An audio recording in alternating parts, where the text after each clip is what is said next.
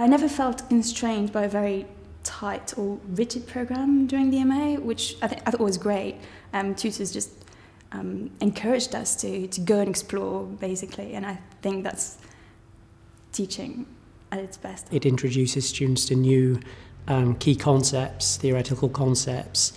It invites them to look outside maybe their specialist area to consider, say, literatures or films or historical periods uh, from other countries. So the languages we cover are Spanish, French, Portuguese, German, and Japanese. I have a huge love for books and literature.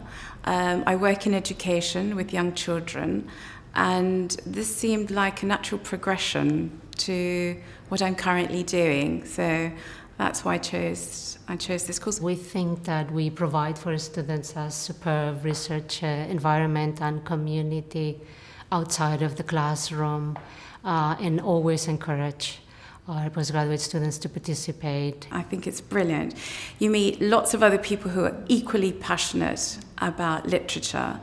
The teachers clearly know their stuff and they're inspiring because they know so much and you think gosh if i could just be a fraction as knowledgeable as you that would be brilliant. I would tell them that it's a great opportunity. Birkbeck offers so many tools so many workshops for people that come from all different of backgrounds. And by coming to birkbeck um, I felt that I was going to have all the support needed. Well, I would be very jealous of anyone about to embark on the course or even considering it. Um, to be honest, I, I would love to go back in time and, and do it all again.